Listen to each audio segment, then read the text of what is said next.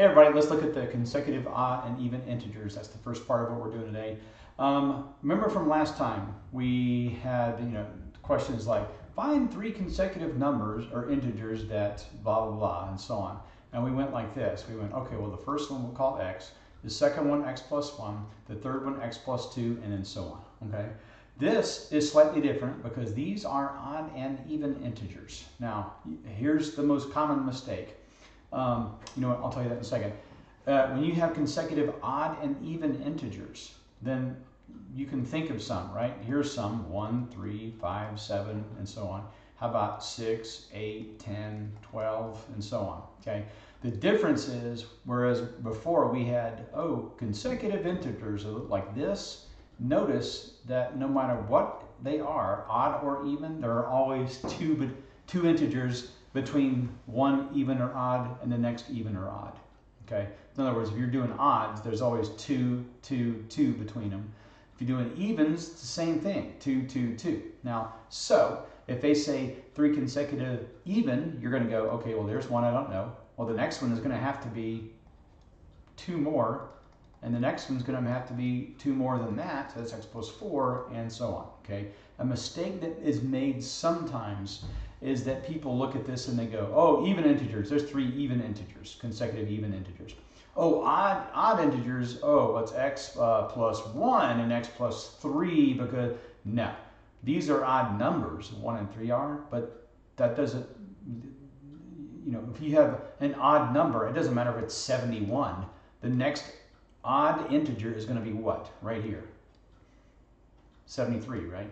The next one, 75, right? Okay. We don't do 1 and 3 just because 1 and 3 are odd numbers. You always do 2 and 4 because this is 2 more than that. This is 4 more than that, and so on. So no matter what they call it, odd or even, you always use x, x plus 2, x plus 4, and so on. Okay, let's do one. Find three consecutive even integers. The sum of the first and second equals the sum of the third and negative 10. Okay. Um, three consecutive even integers in other words, we're going to do this. There's an integer, we don't know.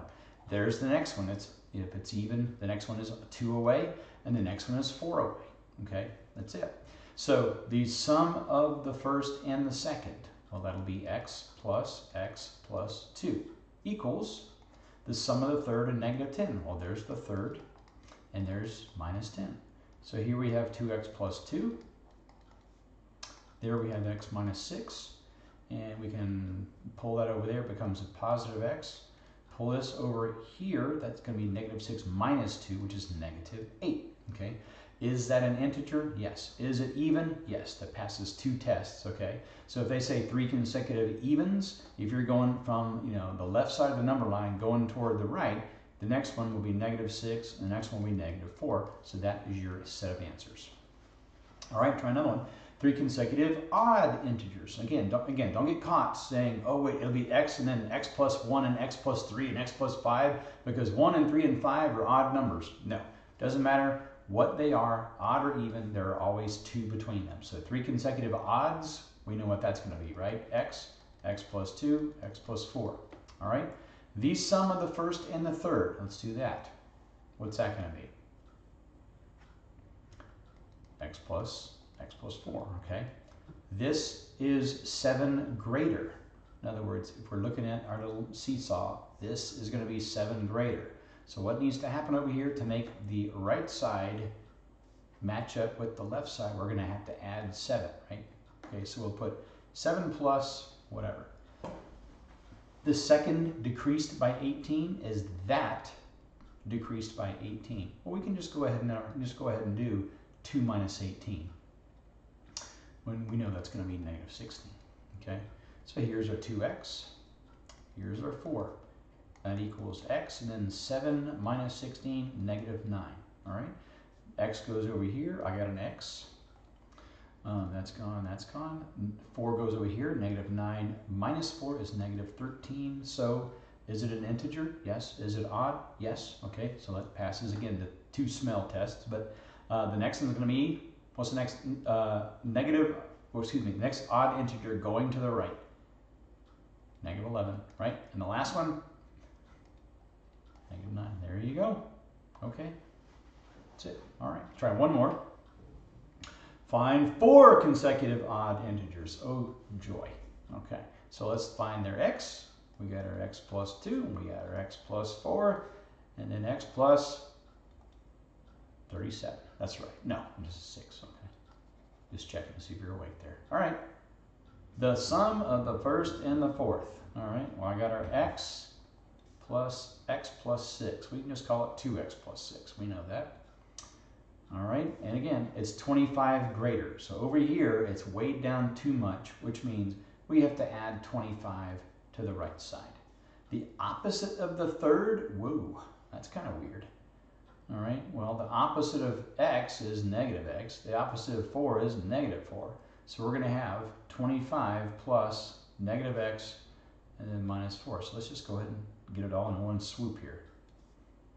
But you didn't know there were swoops in Algebra 1. There are. Okay. Okay, now we're good. All right, so let's take 2x here. Let's forward that over there. That gives us 3x, okay? I got a 25 I got a minus 4 that's 21. And if I go, okay, 6 over here, 21 minus 6 is 15, so x is going to be 5. Is it integer? integer? Yes. Is it odd? Yes. Very odd. Okay, so 4 consecutive, our answer is 5, 7, 9, and 11. You know what? Just for the heck of it, let's just check and see if we are right at the very end. Let's see if you have time to test or whatever, okay? The sum of the first and the fourth, okay? Well, the sum of the first, that's 5, and the fourth, that's 16, okay? All right? Is that 25 greater than the opposite of the third? Well, the opposite of the third is negative 9, all right? Well, you're on a number line, okay? You're at negative 9. How far do you have to go to get all the way to 16? Well, you have to go 9 just to get to 0, right? So that's 9 there. And then uh, 9 plus 16, that's going to be 25. We're in good shape because this is 25 greater than, we got it. Okay. All right, second type of problem we're doing today is fraction and decimal word problem. No, no, nope. Puzzles. Puzzles. Typo. Ignore this. Ignore it. Look away. Okay. Don't let your little brother and sister see that either. Okay. Okay. And here's how we do it. You can uh, at this point, probably you've done so many of these problems where you just go, I'm taking this information and I'm make, turning this sentence into an algebra equation. Still works. If you want to just go ahead and write, uh, you know, a fraction equals a fraction and fill in the four blanks, you can do that too. Doesn't matter. All right. Let's look at it. Lopez used a five iron. Okay, we don't care. We don't care if he used his mother's vacuum cleaner. But the ball covered only four fifths of the required distance. If she hit the ball 112 yards, what was the required distance? In other words, our sentence, your job on these is to take this and go, the ball covered four fifths of the distance, and that was 112 yards. So you should be saying 112 is four fifths of some number. Or, I can just put that period there. Okay. Or let's say what number. You can put that if you okay? And again, you can turn this into an algebraic equation. You can go 112 is 4 fifths of multiply some number x. And again, like most good-hearted Americans, I hate the x's on the right side. So I put them on the left side, okay? You know how to get rid of this. You just multiply by four, uh, 5 fourths, and then by 5 fourths, and let's see, that's your x. 112 times 5, well 100 times 5 is 500. 12 times 5 is 60. 1 times 4 is 4. And then we get 140 as our answer. Method 1. If you don't like that method, you're not a good-hearted American. That's all there is to it. You probably write your x's on the right side. Okay. Oh, you can, okay, we'll try another way. All right, here's the other way. E equals there you go. Okay. I got 4 fifths. That's two numbers. It tells you right there. I got 112 and I got what? Those are my numbers. All right. Well, first question to ask yourself is she hits the ball 112 yards, right? Or he, Lopez. All right. But that's only the the four fifths of the distance. So the whole distance is more like, you know, this from here to there. So the distance we're looking for is more than 112. What does that tell you about, in other words, this is our first fraction, we know that. What does that tell you uh, about this fraction here, the 112 and the what, which we'll call x? Oops. Which we'll call x here. Which means 112 has to be on the top, right? Because we know the bigger number's on the bottom. This needs to be longer because this smaller number is on top, bigger number's on the bottom. So cross multiply. 4 times x equals, well, lo and behold, 5 times 112, 560. And we'll just divide that by 4 and we get the same thing. Yoink, there we go. Okay. All right, same thing works here. Uh, McAfee guessed that the total was 30.24, but this was 7.2 times the total. What was the total? Okay. Well, what you're saying here is you're going, okay, he guessed that this was the total, 30. That was 7.2 times the total. Okay, so you're going, okay, in your head, you might be thinking 30.24 is seven times, you know, some number. That's how you would think it. You might even write it. Write it if you want to. If it helps you, go right ahead. Okay. So again, let's just turn this into an equation. 30.24 is 7 times some number. Okay. Now, big question is here, again, are you a good-hearted American or are you some communist or something? Because if you're doing your x's on the right side, you know, I don't know. Okay. 7x equals 30.24. All right. Uh, excuse me, that should be, that should be 7.2. 7.2 and 7.2, all right? So obviously we just divide by 7.2. And if you do the arithmetic and the long division and all that kind of jazz, you will get 4.2. That is the total. There we go. Okay. All right. That's when, let's just use it that way. All right, let's try another one. Last one. Three fourths of the tickets had been sold, and there were 420 tickets. How many tickets were printed. Okay. Um, okay, knew something was funny about that. Three fourths of the tickets have been sold, and there were 420 tickets left.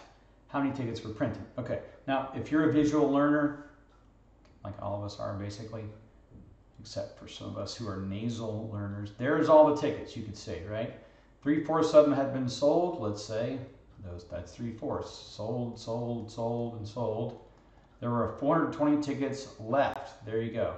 How many tickets were printed? Well, if three-fourths of them are sold, what fraction does this represent, obviously? One-fourth, right? So what you're going to, the question, the sentence you're going to say in your head is 420 is, you tell me,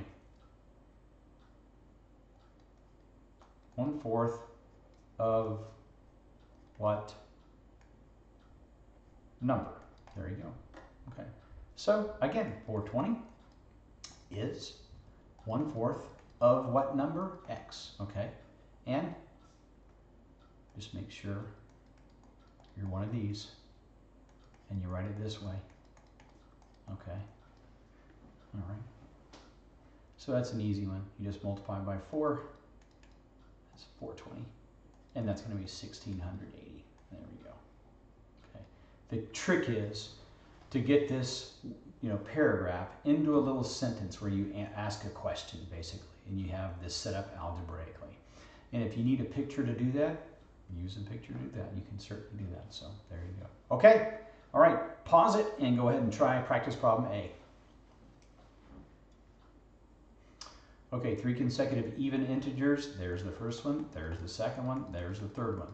The sum of the third, first and third there's one, and there's the third, so it's going to be 2x plus 4 equals the sum of the second negative 14. Well, there's the second, that's my x. A 2 minus a 14 is negative 12, so that's your equation, okay? So we'll move the x over here, that turns into just 1x. This 4 goes over here and becomes negative 4, so negative 12 minus 4 is negative 16. They want you to find three consecutive. That means you are going to go negative 14 and negative 12, and there you go. Okay, pause it and try B. Okay, golfer used a six iron, we don't care. Ball traveled only five to 6 of the required distance, which means the actual distance should have been longer. If the golfer hit it 180 yards, what was the required distance? Okay, so what you're saying is this. Here's the sentence. 180 is 5 sixths of, we'll just call it what? That's your, that's your uh, sentence.